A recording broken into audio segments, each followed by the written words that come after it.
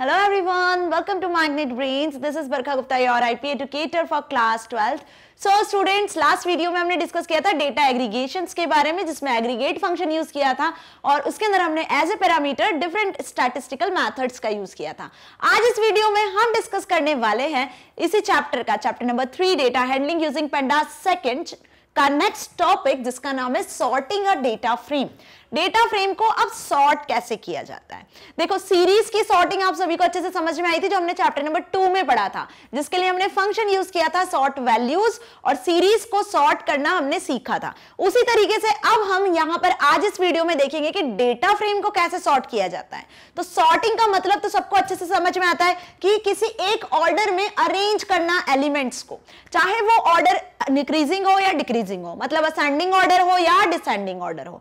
तो सॉर्टिंग का मतलब क्या हुआ? Arrangement of elements in a column और a row column wise row wise दोनों तरीके से आप सॉर्टिंग कर सकते हो आइदर इन असेंडिंग ऑर्डर और इन डिसेंडिंग ऑर्डर तो सीरीज़ तो वन डायमेंशनल अरे होता है, जिसमें सॉर्टिंग बहुत ईजी होती है. लेकिन डेटा फ्रेम में सॉर्टिंग का क्या लॉजिक है? डेटा फ्रेम में होते हैं रो और कॉलम तो यहाँ पे जो सॉर्टिंग आज हम देखेंगे, वो देखेंगे हम रो वाइज और कॉलम वाइज और कौन से फ़ंक्शंस का यूज़ करेंगे, वो भी हम सीखेंगे. Okay so are you ready ये है हमारी डेटा फ्रेम जिसको हम अभी तक डिस्कस करते हुए आए हैं, ठीक है? डीएफ नाम की डेटा फ्रेम हमने इस फ़र्स्ट वीडियो में ही क्रिएट की थी, जिसमें हमने किसका यूज़ किया था? लिस्ट का यूज़ किया था। उन लिस्ट से हमने एक डिक्शनरी क्रिएट की थी और डिक्शनरी को हमने डेटा फ्रेम डीएफ में एक्सेस किया था। तो उसी के अकॉर्डिंग देखो name duty math science SST Hindi English ये क्या बन गए थे? कॉलम इंडेक्सेस बन गए थे और zero one two three four up to eleven तक ये हो गए थे रोज इस डेटा फ्रेम में टोटल सेवन कॉलम्स है ट्वेल्व रोज है जिसमें फोर स्टूडेंट है. उनके तीन यूनिट टेस्ट के math science S Hindi English के मार्क्स है. सो so, इस डेटा फ्रेम को बहुत ध्यान से देख लो. इसी पे आज हम सॉर्टिंग कैसे की जाती है वही समझेंगे ठीक है? सो सबसे पहले हम देखते हैं कि सॉर्टिंग क्या होता है यदि एग्ज़ाम में आता है तो आप इसके डेफिनेशन क्या लिख कर आओगे? बहुत इजी है, जो सीरीज़ में होता है, वैसे ही होता है बट थोड़ा सा डिफरेंस है फ़ंक्शंस डिफरेंट है। So sorting refers to arrangement of data element in specific order एक स्पेसिफिक ऑर्डर में डेटा का डेटा एलिमेंट्स का अरेंजमेंट आइदर रो वाइज और column wise which can either be ascending और डिसेंडिंग अब आप जो स्पेसिफिक ऑर्डर में अरेंज करने वाले हो, वो असेंडिंग ऑर्डर भी हो सकता है, और डिसेंडिंग ऑर्डर भी हो सकता है। असेंडिंग मतलब इंक्रीजिंग छोटे से बड़ा डिसेंडिंग मतलब डिक्रीजिंग बड़े से छोटा, ठीक है? Now pandas provide two functions pandas क्या प्रोवाइड कर रहा है हमें यहाँ पे? जो पॉपुलर लाइब्रेरी है पाइथन की, वो डेटा फ्रेम सॉर्टिंग के लिए हमें दो फ़ंक्शन प्रोवाइड करता है to sort the data values of a data frame कौन से दो फ़ंक्शन है? वो दो फ़ंक्शन है sort values function and sort index function अब वैल्यूज़ और इंडेक्स ये आपको अच्छे से क्लियर करना है। सीरीज़ में जिसका यूज़ किया जाता है वो एकमात्र सॉर्ट वैल्यूज़ फ़ंक्शन होता है क्योंकि सीरीज़ वन डायमेंशनल होती है उसमें एक ही आ, एक ही रो या एक ही कॉलम के अंदर ही डेटा होता है बस मतलब कोई दो इंडेक्सेस नहीं होते हैं एक ही इंडेक्स होता है तो इंडेक्स के अकॉर्डिंग हम डेटा वैल्यूज़ को इजीली सॉर्ट कर लेते हैं सीरीज़ में। तो वहाँ सॉर्ट वैल्यूज़ फ़ंक्शन का यूज़ होता है। लेकिन डेटा फ्रेम में हम दो फ़ंक्शन का यूज़ कर रहे हैं sort value and sort index sort value sort करेगा एलिमेंट्स को कॉलम वाइज समझ में आया? और सॉर्ट इंडेक्स सॉर्ट करेगा डेटा फ्रेम के एलिमेंट्स को रो वाइज बस यही डिफरेंस है कि रो वाइज यदि सॉर्टिंग करवानी है और कॉलम वाइज यदि सॉर्टिंग करवानी है आपको तो आप सॉर्ट वैल्यूज़ और सॉर्ट इंडेक्स फ़ंक्शन का यूज़ करोगे। तो आज इस वीडियो में हम इन दोनों फ़ंक्शन को ही देखने वाले हैं। साथ ही साथ हम उस डेटा फ्रेम के एग्जाम्पल्स को भी डिस्कस करेंगे, ताकि आपको ये सॉर्टिंग अच्छे से समझ में आ सके। अब सॉर्ट वैल्यूज़ फ़ंक्शन को यूज़ करने के पहले कि किस तरीके से इसको यूज़ करना है, उसका सिंटेक्स देख लेते हैं।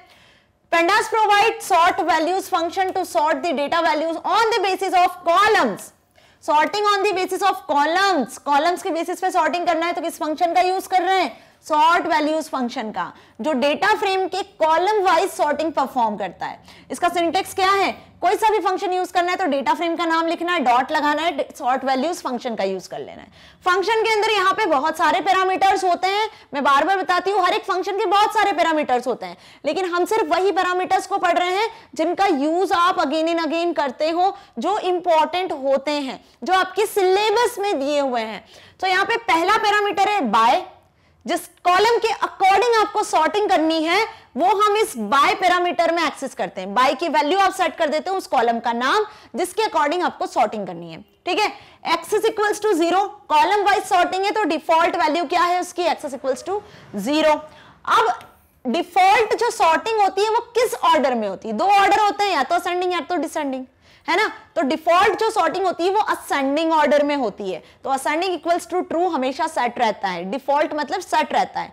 जब आप ये कुछ भी नहीं लिखोगे कि असेंडिंग और एक्सेस की वैल्यू नहीं भी स्पेसिफाई करोगे, तब भी इसी ऑर्डर में ही सॉर्टिंग होगी और कॉलम वाइज होगी। ठीक है? सो बात समझ में आ गई? अब यदि रो वाइज आपको सॉर्टिंग करनी है तो असेंडिंग की वैल्यू हम क्या सेट करेंगे? कंपलसरी यदि आपको सेट करना डिसेंडिंग ऑर्डर में सॉर्ट करवाना है, तब हम सेट करेंगे असेंडिंग की वैल्यू फॉल्स। समझ में आया? ये असेंडिंग की वैल्यू फॉल्स मतलब कि सॉर्टिंग कैसी होनी है? डिसेंडिंग ऑर्डर में सॉर्टिंग होनी है। क्लियर समझ में आया? और यदि आप रो वाइज करवाना चाहते हो सॉर्टिंग तब हम यहाँ एक्सेस की वैल्यू लिखेंगे वन ये कंपलसरी है। ये लिखना आपको ज़रूरी होगा पैरामीटर्स क्योंकि रो वाइज आपको करवानी है सॉर्टिंग और डिसेंडिंग ऑर्डर में करवानी है। ठीक है? बाकी यदि डिफ़ॉल्ट चाहते हो तो ये वैल्यूज़ पहले से सेट होती है। इसके लिए आपको कोई चेंजेस करने की ज़रूरत नहीं है। और बाय का मतलब क्या हुआ? बाय का मतलब हुआ कि आप किस कॉलम के अकॉर्डिंग सॉर्टिंग करवाना चाहते हो? मल्टीपल कॉलम के अकॉर्डिंग भी हम सॉर्टिंग करवा सकते हैं टेबल के किसी एक कॉलम के अकॉर्डिंग भी सॉर्टिंग करवा सकते हैं। तो क्या पैरामीटर्स देखे हमने? By axis and ascending by a column list यहाँ पे आप कॉलम की लिस्ट स्पेसिफाई करते हो आइदर अ सिंगल कॉलम और a multiple column zero for rows and one for columns the order of sorting ascending is equals to false और true ascending की value होती है। ठीक है? By default sorting is done on row indexes in ascending order okay so ये चीज़ अच्छे से समझ में आ गई? नाउ आप देखते हैं एग्ज़ाम्पल तो consider a scenario of data frame DF data frame हम देख चुके हैं अभी। ये देखिए हमने डेटा फ्रेम डीएफ नाम की हमारी डेटा फ्रेम अब इसमें हम क्या कंसीडर कर रहे हैं? Where the teacher is interested in arranging a list according to the names अब टीचर क्या चाहती है कि उस डेटा फ्रेम में जो भी नाम है नेम है स्टूडेंट के, वो असेंडिंग ऑर्डर में अरेंज हो जाए। और ये चीज़ें जनरली प्रैक्टिकली यूज़ की जाती है। आपकी क्लास में अगर स्टूडेंट के नाम है होप यदि आपका अटेंडेंस रजिस्टर है, उसमें अल्फाबेटिकली नहीं लिखे नाम तो आपकी टीचर भी यही चाहिए कि अल्फाबेटिकली अरेंज हो जाए। मतलब असेंडिंग ऑर्डर में अरेंज हो जाए, या डिसेंडिंग ऑर्डर में अरेंज हो जाए, या फिर जो मार्क्स है, वो अरेंज हो जाए असेंडिंग ऑर्डर में। मतलब सबसे कम मार्क्स किस स्टूडेंट को आया, फिर सबसे ज़्यादा किसको आए लाइक इस ऑर्डर में यदि मार्क्स को अरेंज करवाना हो तो ये हमारी जनरल नीड होती है। इसी के लिए हम इन फ़ंक्शंस का यूज़ करते हैं। समझ में आया? तो यहाँ पे जो हमारी डेटा फ्रेम है, उसमें आपको क्या करना है? सॉर्टिंग करवानी है स्टूडेंट के नेम की, या फिर आप सॉर्टिंग करवा सकते हैं स्टूडेंट के मार्क्स की। दो ही सॉर्टिंग हम करवा सकते हैं, क्योंकि डेटा फ्रेम में वैल्यू है क्या? स्टूडेंट के नेम है और उनके मार्क्स है। दोनों के अकॉर्डिंग आप क्या करवा सकते हो? यहाँ पे कॉलम वाइज सॉर्टिंग करवा सकते हो। In which cases sorting can be used to obtain the desired result तो इन सच केसेस इस तरीके के केसेस में हम सॉर्टिंग का यूज़ करते हैं okay to sort the entire data on the basis of attribute name we use the following command अब हम क्या अज्यूम कर रहे हैं कि हम नेम कॉलम के अकॉर्डिंग किसके अकॉर्डिंग स्टूडेंट के नेम कॉलम के अकॉर्डिंग सॉर्टिंग करवाना चाहते हैं। तो कौन सा फ़ंक्शन यूज़ करेंगे? कॉलम वाइज सॉर्ट करवाना चाह रहे हो? तो डेटा फ्रेम का नाम लिखा डॉट लगा के सॉर्ट वैल्यूज़ लिख दिया। डेटा फ्रेम का नाम डॉट सॉर्ट वैल्यूज़ अब नेम कॉलम के अकॉर्डिंग मतलब ये जो नेम वाला कॉलम है आपका नेम वाला कॉलम इसके अकॉर्डिंग आपको सॉर्टिंग करवानी है। है ना? अब नेम में देख लो रमन जुआयर अशव्य मिस्टी ये जो नाम है, ये किसी, एक ऑर्डर में अरेंज नहीं है स्पेसिफिक ऑर्डर में अरेंज नहीं है। इन्हीं को हमें अरेंज करवाना है। तो हमने सॉर्ट वैल्यूज़ फ़ंक्शन यूज़ किया और यूज़ किया बाय पैरामीटर तो इसका बाय पैरामीटर के आगे आपने क्या स्पेसिफाई कर दिया? यहाँ पर कॉलम का नाम, जिसके अकॉर्डिंग आपको सॉर्टिंग करवानी है। तो कॉलम का नाम कैसे लिखते हो आप? स्क्वायर ब्रेकेट्स में। ये चीज़ें आपको ध्यान रखनी है। कि बाय पैरामीटर में जिस भी कॉलम का नाम लिखोगे तो वो स्क्वायर ब्रैकेट्स के अंदर आएगा। ओके तो समझ में आई ये चीज़ अच्छे से? बाकी इसके आगे जो पैरामीटर अभी हमने देखे कॉलम वाइज सॉर्ट हो रही है तो axis equals to zero default set है। असेंडिंग ही सॉर्ट होगी डिफ़ॉल्ट तो असेंडिंग की वैल्यू भी यहाँ पे क्या है? ट्रू डिफ़ॉल्ट सेट है। ये लिखने की ज़रूरत नहीं है, यही होगा एक्चुअली ये डिफ़ॉल्ट सेट है। तो अब जो भी सॉर्टिंग होगी, वो नेम कॉलम के अकॉर्डिंग हो जानी है। तो देखते हैं इसका आउटपुट क्या आएगा। इसका आउटपुट कुछ जनरेट होगा इस तरीके से। ठीक है? सॉर्टिंग आपको पूरी डेटा फ्रेम मिलेगी, क्योंकि एक्सेस तो हमने डेटा फ्रेम करी है पूरी, लेकिन सॉर्टिंग किसके हिसाब से हुई है? सॉर्टिंग हुई है नेम कॉलम के अकॉर्डिंग डेटा फ्रेम देखो, ये डेटा फ्रेम है हमारी। इस डेटा फ्रेम में रमन, जुहायर अर्श्रव्य मिस्टी पहले रमन नाम है, फिर जुहायर है, फिर अर्शव्य फिर मिस्टी है। लेकिन सॉर्टिंग का रिज़ल्ट आपको क्या मिल रहा है? पहले अर्शव्य आ गया फिर मिस्टी आ गई फिर रमन फिर जुहायर। और इन्हीं नाम के अकॉर्डिंग सारे कॉलम अपनी वैल्यूज़ को अरेंज कर चुके हैं। ये असेंडिंग ऑर्डर में अरेंज हो गए। ए अल्फ़ाबेट पहले आता है फिर उसके बाद एम आता है देन रमन का आर आता है देन जुआर आता है जेड आता है। ओके okay, सो so ये आपको समझ में आया कि नेम कॉलम के अकॉर्डिंग कैसे डेटा फ्रेम में सॉर्टिंग हुई? कॉलम वाइज सॉर्ट के लिए सॉर्ट वैल्यूज़ फ़ंक्शन का यूज़ किया। ओके सो अब देखते हैं next example now to obtain sorted list of marks scored by all students in science. In unit test 2 the following code can be used. देखो, अब थोड़ा सा और फ़िल्टर किया हमने डेटा फ्रेम को। मतलब अब हम क्या चाहते हैं कि हम मार्क्स को क्या करवाना चाहते हैं? मार्क्स को सॉर्ट करवाना चाहते हैं। लेकिन किसके मार्क्स को? सभी स्टूडेंट के साइंस के मार्क्स मतलब सभी स्टूडेंट के साइंस के मार्क्स को सॉर्ट करवाना है। लेकिन उसमें भी एक क्राइटेरिया है कि किस यूनिट टेस्ट के यूनिट टेस्ट टू के। मतलब हम आते हैं अब कहाँ पर डेटा फ्रेम पर। ओके okay, तो ध्यान से डेटा फ्रेम देखो। इस डेटा फ्रेम में आपको क्या शो हो रहा है? ये साइंस वाला कॉलम शो हो रहा है। साइंस के सारे मार्क्स शो हो रहे हैं। इस कॉलम को हमें सॉर्ट करवाना है। लेकिन सॉर्ट करवाने के लिए कंडीशन है कि सॉर्ट सिर्फ़ वही नंबर होंगे साइंस के जो यूनिट टेस्ट टू में कैलकुलेट किए गए हैं। मतलब जहाँ यूनिट टेस्ट टू की वैल्यू टू टू है, वहाँ पे जो साइंस के मार्क्स हैं, वो सॉर्ट हो। तो अब हमें क्या करना है? इस पूरे डेटा फ्रेम में से, इस होल डेटा फ्रेम में से एक्सेस करना है यूनिट टेस्ट टू के साइंस के मार्क्स को। तो यहाँ हम करेंगे डेटा फ्रेम की स्लाइसिंग किस कंडीशन के बेसिस पर? यूनिट टेस्ट की वैल्यू जहाँ पे टू हो उसके अकॉर्डिंग हमें साइंस के मार्क्स एक्सेस हो जाएँ। ओके okay, सो so इसके लिए क्या लिखा हुआ है कोड ध्यान से देखो। Get the data corresponding to unit test two तो हमने लिखा एक डेटा फ्रेम बनाई हमने डीएफ यूटी टू नाम से। इज़ इक्वल्स टू उसमें लिखा है DF dot UT is equals to is equals to two मतलब जहाँ पे यूनिट टेस्ट कॉलम है उसमें टू वैल्यूज़ हैं उसके अकॉर्डिंग जो डेटा वैल्यूज़ है वो कहाँ आ जाए? डेटा फ्रेम यूटी टू नाम के डेटा फ्रेम ऑब्जेक्ट में आ जाए। Now sort according to ascending order अब असेंडिंग ऑर्डर में सॉर्ट करना है साइंस के मार्क्स की। तो हमने लिखा है sort values function sort values function कहाँ अप्लाई कर दिया जहाँ पे यूनिट टेस्ट टू है। तो यूनिट टेस्ट टू हमने एक्सेस कर लिया डीएफ यूटी में और उसके आगे अप्लाई कर दिया सॉर्ट वैल्यूज़ फ़ंक्शन और बाय इज़ इक्वल्स टू लिख दिया है कॉलम का नाम साइंस मतलब बाय के आगे हमने उस कॉलम का नाम लिख दिया, जिसकी वैल्यूज़ को सॉर्ट करवाना है, जहाँ पर यूनिट टेस्ट के टू वैल्यूज़ हैं। ओके तो देखो इसका आउटपुट क्या हुआ? इसका आउटपुट आएगा आपको कुछ इस तरीके से। क्योंकि सॉर्ट वैल्यूज़ फ़ंक्शन हमें सारी वैल्यूज़ को रिटर्न करता है, पूरी डेटा फ्रेम शो करेगा। लेकिन सॉर्टिंग किसकी करेगा? सॉर्टिंग करेगा सिर्फ़ उन वैल्यूज़ की। तो ध्यान से देखो साइंस में क्या वैल्यूज़ थी? 20 15 ये वैल्यूज़ थी यूनिट टेस्ट की। 20 15 22 एंड 21 20, 15, 22 एंड 21 तो अब ध्यान से देखो जो सॉर्टिंग भी उसी के अकॉर्डिंग हुई है 15 पहले आया फिर 20 आया देन 21 देन 22 तो ये सॉर्टेड हो गया साइंस का कॉलम कौन सा कॉलम सॉर्ट हुआ है? जिसमें यूनिट टेस्ट की वैल्यू 2 है। तो अच्छे से समझ में आया? कैसे सॉर्टिंग किया? ये हमने किया है यहाँ पर डेटा फ्रेम को स्लाइस क्या किया यहाँ? हमने डेटा फ्रेम को स्लाइस किया। कैसे स्लाइस किया? यूनिट टेस्ट टू के अकॉर्डिंग ओके तो अभी हमने देखा कि सॉर्टिंग आप कैसे करवा रहे हो एक सिंगल कॉलम के अकॉर्डिंग अब आप सॉर्ट वैल्यूज़ फ़ंक्शन का यूज़ कर सकते हो मल्टीपल कॉलम वैल्यूज़ के सॉर्टिंग के अकॉर्डिंग भी. तो जब आपको मल्टीपल कॉलम वैल्यूज़ को सॉर्ट करवाना है, तब आपको क्या करना है? बाय में मल्टीपल कॉलम वैल्यूज़ को स्पेसिफाई करना है. तो वो हम देखते हैं, बाद में पहले हम देख लेते हैं एक प्रोग्राम जो आपको लिखा हुआ है आपकी बुक में. Write the statement which will sort the marks in English in the data frame DF based in unit test three तो जो अभी हमने साइंस वाला देखा ना एग्जांपल जस्ट वैसे ही है कि यूनिट टेस्ट टू की जगह आ गया यूनिट टेस्ट थ्री और साइंस की जगह हमें सॉर्टिंग करवानी है इंग्लिश में. तो सेम हम क्या करेंगे? डेटा को स्लाइस कर लेंगे. कौन से डेटा को? यूनिट टेस्ट थ्री के. डेटा को हमने स्लाइस करके एक्सेस कर लिया डीएफ यूटी थ्री में और फिर हमने सॉर्ट वैल्यूज़ फ़ंक्शन अप्लाई करा इसी डेटा फ्रेम पे. इसी डेटा फ्रेम पे हमने सॉर्ट वैल्यूज़ फ़ंक्शन अप्लाई किया। बाय में हमने लिख दिया उस सब्जेक्ट का नाम जिसकी वैल्यूज़ को सॉर्ट करवाना है यूनिट थ्री के। इंग्लिश सब्जेक्ट को तो इंग्लिश कर दिया। अब यहाँ पे देखो, एक क्राइटेरिया इन्होंने स्पेसिफाई करा है कि सॉर्टिंग होना चाहिए डिसेंडिंग ऑर्डर में। तो डिफ़ॉल्ट तो असेंडिंग ऑर्डर में होती है। तो डिसेंडिंग ऑर्डर में करना है तो हमने पैरामीटर यूज़ कर लिया असेंडिंग इक्वल्स टू फॉल्स तो जब आपने असेंडिंग इक्वल्स टू फॉल्स लिखा है तो अब डिसेंडिंग ऑर्डर में सॉर्टिंग होगी। कैसे सॉर्टिंग होगी? डिसेंडिंग ऑर्डर में।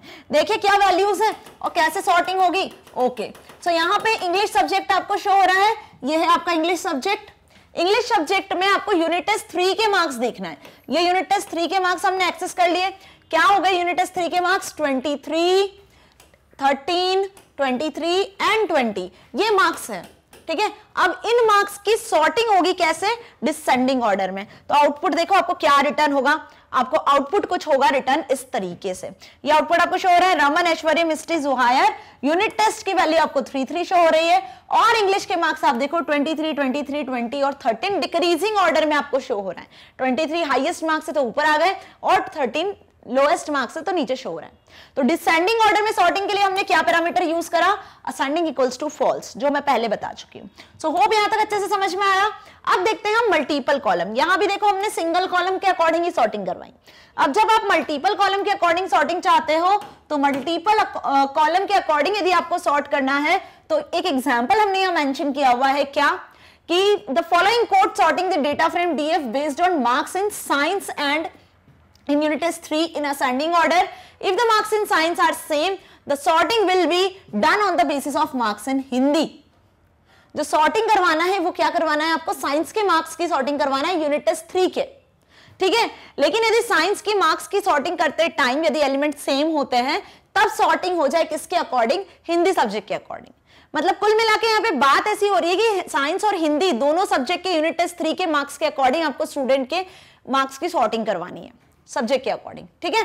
तो कौन से दो सब्जेक्ट हम एक्सेस करेंगे? कौन से दो कॉलम हम एक्सेस करेंगे? साइंस एंड हिंदी साइंस और हिंदी कॉलम को हम एक्सेस करेंगे और उनकी जो वैल्यूज़ है यूनिट टेस्ट थ्री की, उसके अकॉर्डिंग सॉर्ट वैल्यूज़ फ़ंक्शन का यूज़ करेंगे। तो यहाँ देखो, पहले हमने स्लाइस किया data df dot UT equals to equals to three मतलब यूनिट टेस्ट कॉलम में जहाँ थ्री वैल्यूज़ है, उसका डेटा किसमें आ जाए? डेटा फ्रेम यूटी थ्री में आ जाए। अब डेटा फ्रेम यूटी थ्री में हमने अप्लाई कर दिया सॉर्ट वैल्यूज़ फ़ंक्शन बाय में आगे लिखा हमने साइंस कॉमा हिंदी मतलब बाय के आगे आपने अब क्या स्पेसिफाई किया है? दो कॉलम स्पेसिफाई किए। अभी तक हमने सिंगल कॉलम के अकॉर्डिंग देखा था। तो दो कॉलम कौन से हो गए? साइंस और हिंदी राइट right? तो अब साइंस और हिंदी दोनों कॉलम की वैल्यूज़ सॉर्ट होंगी। अगर दोनों कॉलम में सेम वैल्यूज़ होंगी ना इन दैट केस सेकंड वाले कॉलम के अकॉर्डिंग सॉर्टिंग हो जाएगी। ठीक है? तो चलिए देखते हैं। यूनिट टेस्ट थ्री के मार्क्स पहले डेटा फ्रेम में। तो यहाँ डेटा फ्रेम आप देख रहे हो। ये हमारी डेटा फ्रेम है। यहाँ पर आप देखो साइंस और हिंदी वाले जो मार्क्स हैं ये साइंस सब्जेक्ट हो गया और ये हिंदी सब्जेक्ट हो गया ठीक है? अब इसमें यूनिट टेस्ट थ्री के मार्क्स कौन से हैं? ये यूनिट टेस्ट थ्री के मार्क्स हैं ओके 19, 18, 25, 18 अगेन हिंदी में 24, 23, 21 एंड 25 ओके सो ये चीज़ अच्छे से समझ में आई। ये हमारे साइंस और हिंदी के मार्क्स हो गए। अब आपको यहाँ पे सॉर्टिंग करवानी है। किसके अकॉर्डिंग सॉर्टिंग करवानी है? सॉर्ट वैल्यूज़ फ़ंक्शन के अकॉर्डिंग मल्टीपल कॉलम्स को लेकर। तो देखो इसका आउटपुट क्या आएगा। इसका आउटपुट कुछ इस तरीके से आएगा। यहाँ पे देखो साइंस और हिंदी। इन दोनों सब्जेक्ट के बीच में सॉर्टिंग हुई है। सिमिलर मार्क्स थे 18 18 तो उसके अकॉर्डिंग हिंदी के सब्जेक्ट के अकॉर्डिंग सॉर्टिंग हुई है। ये सॉर्टेड रिज़ल्ट आपको शो हो रहा है। ओके सो so, बात समझ में आई? एक सिंगल कॉलम के अकॉर्डिंग भी आप सॉर्टिंग करवा सकते हो। और मल्टीपल कॉलम्स के अकॉर्डिंग भी आप सॉर्ट करवा सकते हो। यदि इसे डिसेंडिंग ऑर्डर में सॉर्ट करना है तो यहाँ पे हम पैरामीटर यूज़ कर लेंगे ascending equals to false okay so अब देखते हैं हम नेक्स्ट पैरामीटर कॉलम के वाइज तो हमने सॉर्टिंग देख ली एक सिंगल कॉलम का यूज़ करके भी सॉर्ट करवा के देख लिया मल्टीपल कॉलम का यूज़ करके भी सॉर्ट करवा के देख लिया डिसेंडिंग ऑर्डर में यदि सॉर्ट करना है तो असेंडिंग इक्वल्स टू फॉल्स भी देख लिया। अब देखते हैं हम सॉर्ट इंडेक्स फ़ंक्शन को, जो कैसे सॉर्ट करेगा? रो वाइज वैल्यूज़ को सॉर्ट करेगा। तो sorting on the basis of index मतलब रो वाइज तो pandas provide sort index function to sort the data values on the basis of row of a data frame okay अब इसका syntax क्या होता है? डेटा फ्रेम का नाम लिखना है। डॉट लगाना है। सॉर्ट अंडर स्कोर इंडेक्स जैसे sort underscore values use किया, वैसे sort underscore index use करना है। ओके और यहाँ पे ascending equals to true default value होती है। यहाँ आपको बाय कॉलम का यूज़ नहीं करना है, क्योंकि रो वाइज सॉर्टिंग मतलब पूरी रो के अकॉर्डिंग सॉर्टिंग होती है। ओके सो इसको कैसे यूज़ किया इसका एग्जांपल देखते हैं, ताकि आपको अच्छे से समझ में आए sort value sort index function भी। Example to consider again data frame वही हमारी डीएफ वाली डेटा फ्रेम हमने देख लिया, जिसमें कितनी रो है? जिसमें ज़ीरो से लेकर, ये रो है ना ज़ीरो से लेकर इलेवन मतलब कि ट्वेल्व रोज है। इन रो के अकॉर्डिंग आपको क्या करवाना है? इन रो के अकॉर्डिंग आपको सॉर्टिंग करवानी है ओके इस रो के अकॉर्डिंग हमें क्या करवाना है? सॉर्टिंग करवानी है। फाइन तो अब हम क्या करेंगे? By default sorting in ascending order default जो सॉर्टिंग होती है असेंडिंग ऑर्डर में होती है।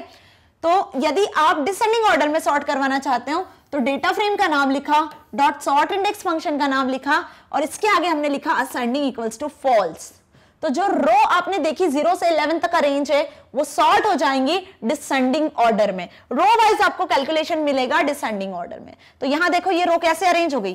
जो ज़ीरो से इलेवन अरेंज थी, वो कैसे अरेंज हो गई? इलेवन से ज़ीरो अरेंज हो गई। और उसी के अकॉर्डिंग जो डेटा वैल्यूज़ थी कॉलम्स की जो वैल्यूज़ थी, वो भी अरेंज हो गई हैं। तो रो वाइज भी कैसे की जाती है सॉर्टिंग अच्छे से समझ में आई? तो यहाँ पे आपको ध्यान क्या रखना है? यहाँ आपको ध्यान रखना है दो फ़ंक्शंस किसके लिए? डेटा फ्रेम की सॉर्टिंग के लिए। सीरीज़ को सॉर्ट किया जाता है, सॉर्ट वैल्यूज़ का यूज़ करके। डेटा फ्रेम को सॉर्ट किया जाता है, दो फ़ंक्शंस का यूज़ करके, sort values and sort index sort values column wise sort करता है, आप मल्टीपल कॉलम्स के अकॉर्डिंग भी सॉर्टिंग करवा सकते हो। डिफ़ॉल्ट जो पैरामीटर होता है, वो असेंडिंग इक्वल्स टू ट्रू होता है। डिफ़ॉल्ट जो सॉर्टिंग होती है, वो असेंडिंग ऑर्डर में होती है। यदि आप डिसेंडिंग ऑर्डर में चाहते हो तो ascending equals to false set कर देते हैं। ठीक है? यदि आप रो वाइज चाहते हो सॉर्टिंग करवाना तब हम यूज़ करते हैं सॉर्ट इंडेक्स फ़ंक्शन का। इसमें आपको कोई बाय पैरामीटर नहीं देना है। यहाँ पे आप सिर्फ़ ascending equals to true default है ascending equals to false set कर दोगे तो क्या होगा?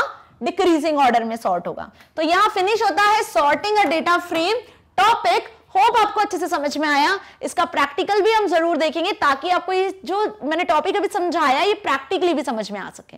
ओके सो स्टूडेंट्स अगर वीडियो अच्छी लगी है तो इसे मैग्नेट ब्रेन्स की ऑफिशियल वेबसाइट से भी आप एक्सेस कर सकते हो। मैग्नेट लिखना इस तरीके का होम पेज होगा। यहाँ सेलेक्ट कर लेना अपनी क्लास ट्वेल्व आपको शो होंगे सारे सब्जेक्ट क्लास ट्वेल्थ के, जिसमें सेलेक्ट कर लेना है आपको अपना subject class twelfth IP select the watch now जैसे ही वॉच नाउ पे आते हो तो आ जाओगे अपने आईपी सब्जेक्ट क्लास ट्वेल्थ के, और यहाँ मिलेगी नीचे आपको पूरी प्लेलिस्ट अवेलेबल ओके जहाँ पे आपको सारे टॉपिक सिक्वेंशियल ऑर्डर में अरेंज मिलेंगे, जैसे आपकी बुक में है.